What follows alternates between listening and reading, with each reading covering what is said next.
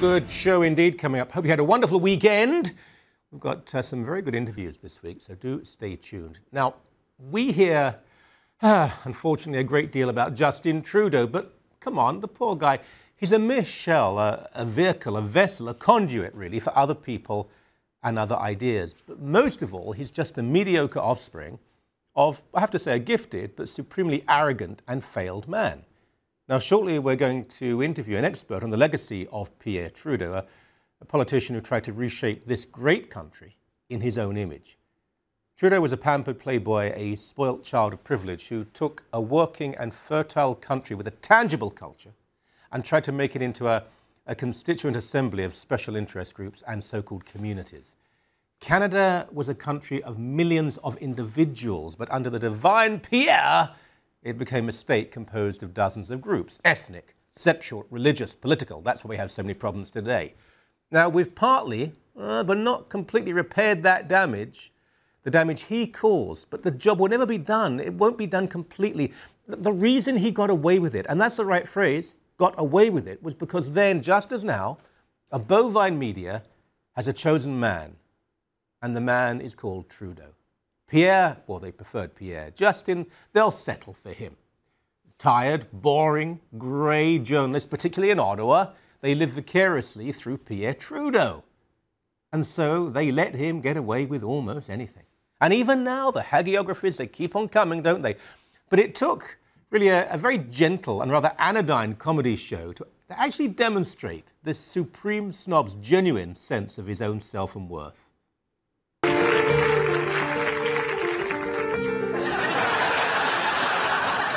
Enjoy the outdoors, paddling on the water instead of walking on it.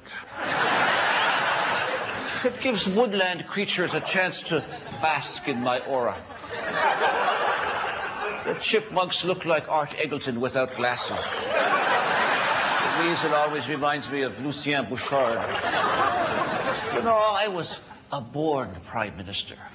Uh, the only thing missing at my birth was uh, three wise men. But where would you find three men wiser than me? Now, that's CBC comedy, so it's very safe and not very funny. But within all that, actually, they, they revealed the real man, the real snob, the, the, the almost self parody of Pierre Trudeau. Instead of centuries proven British law, he gave us an ersatz European model that improved nothing at all. Instead of personal responsibilities, he gave us group rights. Instead of respecting the Anglo Celtic and Northern European traditions of English Canada, he consciously, aggressively tried to destroy that noble history and replace it with a stew of different and invariably curdling flavors. He alienated natives and Albertans and Americans, even his own Quebecers. He overreacted, I'm sorry, but he overreacted ridiculously, absurdly to what was really a minor terrorist attack, and he showed himself a bully and a dictator. He condescended to everyone, but particularly to MPs, beginning the process where backbenchers became useless voting tools, thus, more important, emasculating the democratic system. He seldom met a foreign despot he didn't adore, while severing links with democracies who have been our friends and allies for generations. Morale sank, the economy floundered, but Trudeau prospered.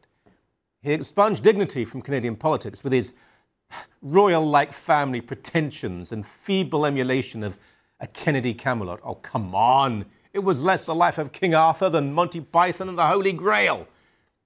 Have a look at this very short video now, please.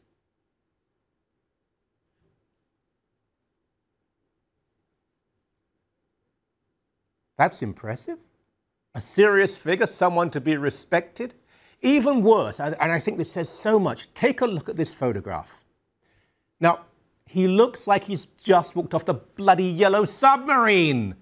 Fashion, transitory appeal, soundbite titillation, nothing of lasting merit, a museum piece, something to laugh at today, but tragically, there are still those who delight in his shadow, and they will do anything to see the Trudeau name dominate Ottawa and Canada once again. They want some sort of award, some sort of medal, and they'll give the gold medal to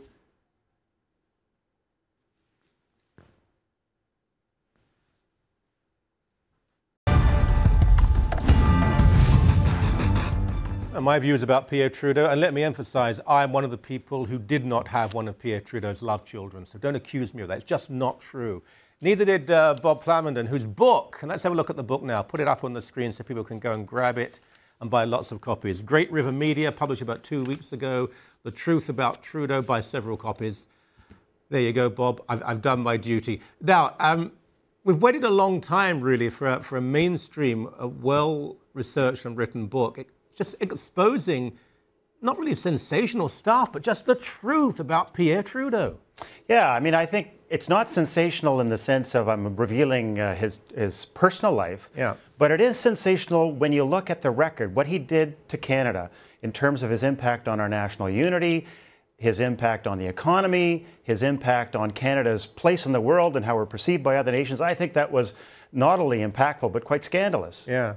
But we're sort of told today, almost indoctrinated, that before Trudeau, it was all a bit of a mess. That This country had been a, mighty power during the Second World War, the great litmus test of good and evil, fighting Nazism. It was highly respected. Trudeau, though, didn't find it, what, exciting enough? Uh, no, it wasn't exciting enough uh, for him. I mean, he, he wanted to transform the nation and in, in many different ways. He believed in a big, act, a big activist, centralized government.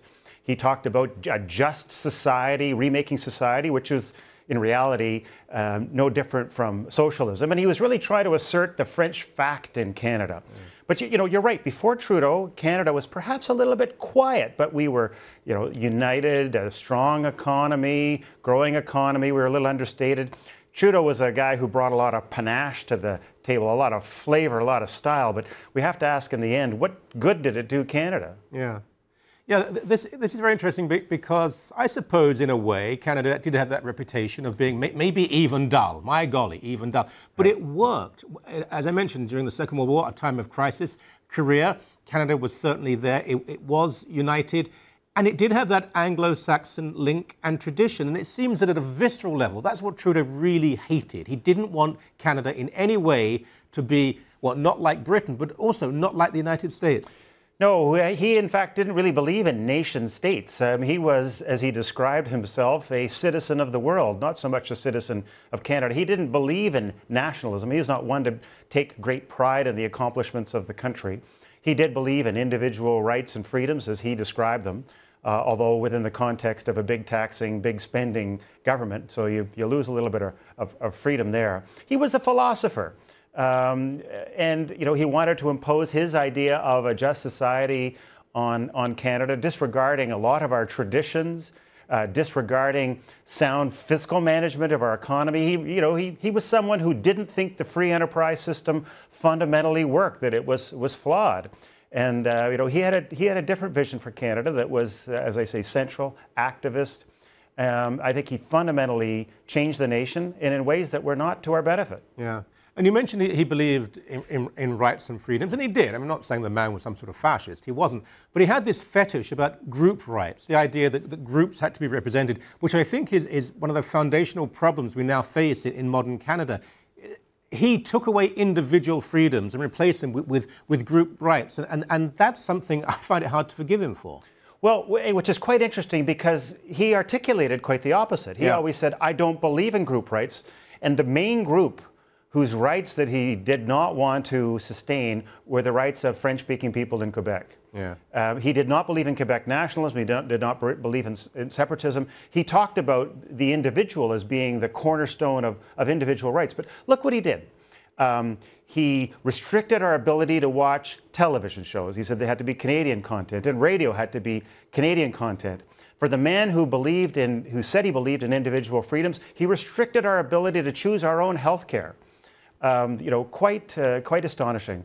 So, you know, the walk and the talk were, you know, were, were, were, quite different. Of course, he's known for bringing us the Charter of Rights and Freedoms, which in large measure was really a transfer of power away from our elected officials and into the hands of the judici judiciary. Yes, and he's made lots of lawyers very wealthy, uh, of course.